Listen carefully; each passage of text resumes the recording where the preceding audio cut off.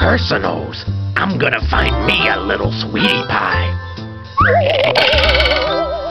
Hey, Scoops, what are you doing in my paper?